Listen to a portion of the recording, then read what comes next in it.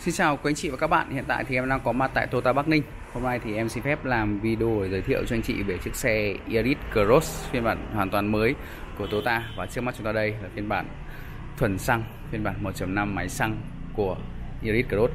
Thì giá niêm yết của dòng xe này là 730 triệu và phiên bản cao cấp hơn phiên bản à, xăng lai điện thì có giá niêm yết là 838 triệu và thời điểm hiện tại thì bên em đang hỗ trợ 50% thuế trước bạ cho cả hai dòng xe này và em sẽ giới thiệu anh chị sâu hơn ờ, về ờ, nội ngoại thất của chiếc xe Iris Cross phiên bản thuần xăng này và giá lăn bánh.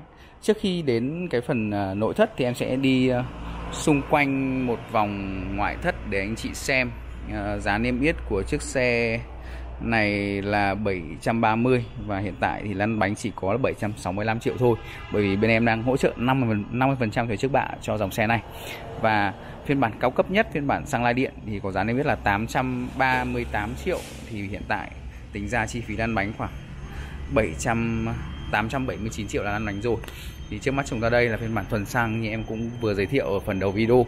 Em sẽ giới thiệu sâu hơn về dòng xe này. Mà hai phiên bản này chênh nhau số tiền là khoảng hơn 100 triệu thì anh chị lựa chọn phiên bản nào?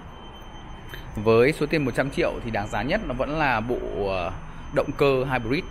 À, chiếc xe này được dùng động cơ là tuần xăng và phiên bản cao cấp nhất là phiên dụng phiên bản ờ, xăng lái điện. Thì phiên bản xăng lái điện sẽ cho cái mức tiêu thụ nhiên liệu rất là tối ưu chỉ có 3,8 lít trong 100 cây. Và um, cái tăng tốc mượt mà hơn và cũng yên tĩnh hơn. À, tuy nhiên là ngoài cái về máy hai phiên bản nó cũng chênh nhau thêm một số cái chi tiết khác như uh, cửa sổ uh, cửa kính chơi toàn cảnh này rồi uh, cốp điện. Đó thì với 100 triệu hơn 100 triệu thì anh chị sẽ lựa chọn phiên bản nào? Phiên bản này thì vẫn có động cơ khung gầm à, vẫn có khung gầm kích thước là như nhau. Đây anh chị thấy đây, bản này là cốp là dùng cốp cơ không phải dùng cốp điện một chạm như là chiếc xe kia nữa.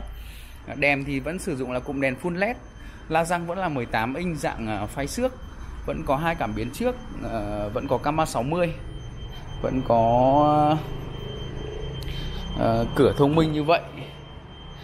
Tuy nhiên là cái phiên bản này nó không được trang bị các cái chức năng như em vừa nói. Phiên bản này thì vẫn được trang bị là lấy chuyển số sau vô lăng này, được trang bị thêm các cái chức năng như là cảnh báo tiền va chạm, rồi cảnh báo ờ, lệch làn giữ tốc độ ờ, thích ứng cái cảm biến xuất lốp thì vẫn như nhau. Mình sẽ bật màn hình lên cho anh xem, màn hình rất là lớn. Điều hòa thì vẫn sử dụng ờ, điều hòa tự động. Phanh tay điện tử. Không có khác biệt gì nhiều. Ngoài những cái em vừa để, điểm ra khi, lúc ban đầu. Còn phần nội thất thì các cái khu ốp da và ghế thì là như nhau. Không có cửa sổ kính, cửa kính trời toàn cảnh thì với à, hơn 100 triệu.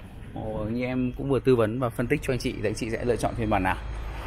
Ồ, anh chị nào mà quan tâm đến à, các vấn đề khác về xe và muốn tư vấn sâu hơn về cái nhu cầu cũng như tài chính của anh chị thì nên lựa chọn phiên bản nào.